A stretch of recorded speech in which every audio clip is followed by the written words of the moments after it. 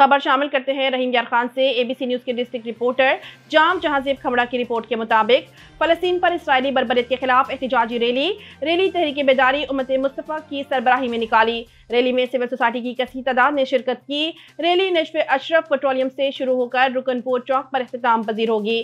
सरदारगढ़ में तहरीक बेदारी उमत मुस्तफ़ा की जानब से फलस्तीन पर इसराइली बरबरीत के खिलाफ रैली निकाली गई। रैली में तमाम मकातब फ़िक्र से ताल्लुक रखने वालों सैकड़ों अफराद ने शिरकत की। रैली के शुरका ने हाथों में पैनाफ्लेक्सिस और कुतबे उठा रखे थे, जिन पर फलस्तीन के हक में, जबकि इसराइल के खिलाफ नारे दर्ज थे।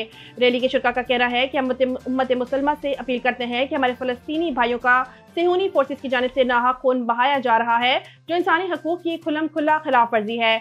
उन्होंने कहा कि हम हुकूमत पाकिस्तान से मुतालबा करते हैं कि इसराइल से तमाम तर ताल्लुक खत्म करते हुए इसराइली सफीर को मुल्क बदर किया जाए। रैली अशरफ पेट्रोलियम से शुरू होकर रुकनपुर चौक पर अख्ताम पजीर हुई।